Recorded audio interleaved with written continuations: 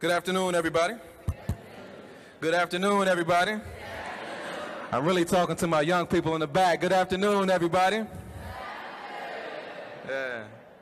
So this is a little bittersweet for me, and uh, I'll talk a little bit more later, but uh, I may not get an opportunity to uh, thank the young people like I really want to, so I want to do so now and thank each and every one of you guys for, uh, for being here, and specifically to the adults in the equation who carved out the time to make sure that, that the young people from your schools uh, were here uh, to take a part to take part in the 25th uh, anniversary of uh, MLK's legacy. So thank you, and God bless every one of you.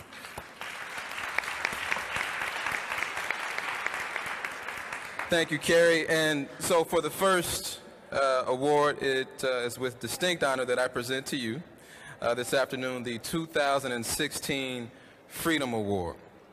Uh,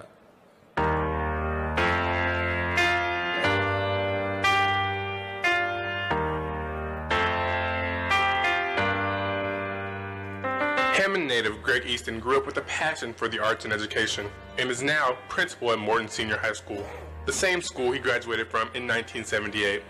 Prior to his current position, Greg taught music and theater in Hammond for 25 years. Um, I learned a lot from him, and I think that I got uh, my work ethic from Mr. Easton. Watching him in action, everything was done without reservation, and he, he's still that way now. he works very long hours until everything is done right, and if it's not done right, it's not worth doing.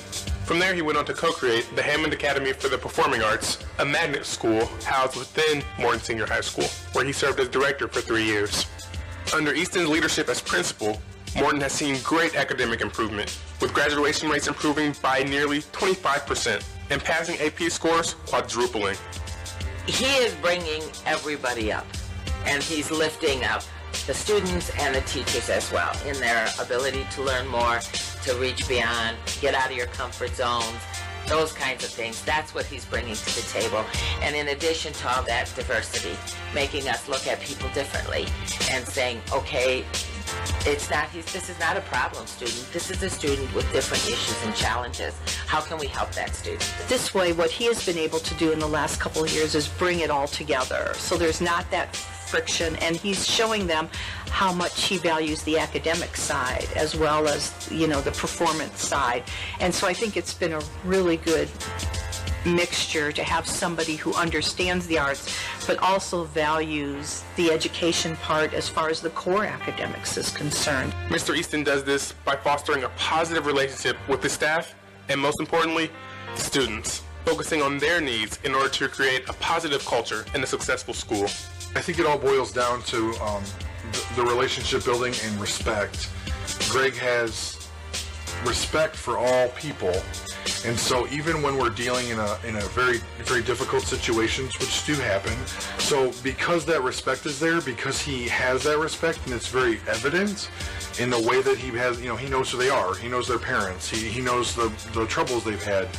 Um, the kids come to see him, they seek him out, they ask him for advice, they ask him for help, and he provides it. And they don't always get the answers they want, but they're always happy with the fact that they felt heard and they've been listened to and he's supported them in their quest, whether they got to, to what they wanted or not. They love him.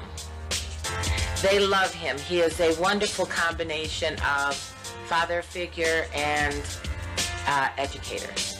They know that he will treat them with respect. They know that they can talk to him about anything if there's an issue or problem, that he will listen, and, but he will do the best for the whole situation, not just side with kids or side with teachers. I think kids know that he's a safe place to land. Everything that he does in this building is is for the kids, as it should be.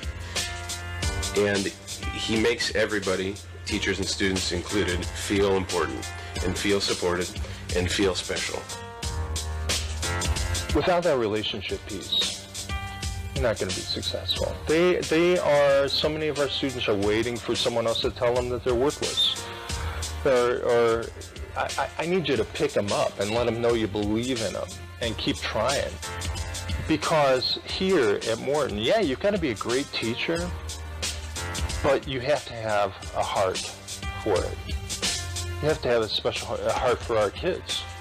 Yeah, that's our job. That's what we've got to do. We You know, we're here for them. If they, if, if the kids succeed, we succeed. When, when, when they are, are struggling, we're struggling.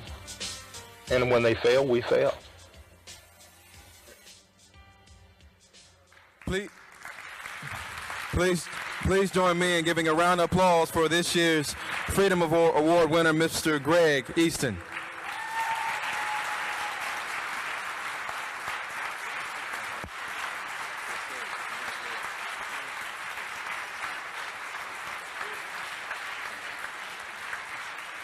Presenting the 2016 Freedom Award to Greg Easton, along with ICRC Director Jamal Smith, is Governor Mike Pence and MLK Chairman Daryl Ragland. The Freedom Award is given annually to recognize local projects, programs, initiatives, or leaders that make significant contributions toward achieving the dream of Dr. King in the areas of economic development, poverty reduction, societal justice, and or peacemaking efforts. Past recipients for the award include the Civil Rights Heritage Center, Ivy Tech President Thomas Snyder, Arthur Carter, Richard Hatcher, Chanel Poole, and last year's winner, Min Mantin.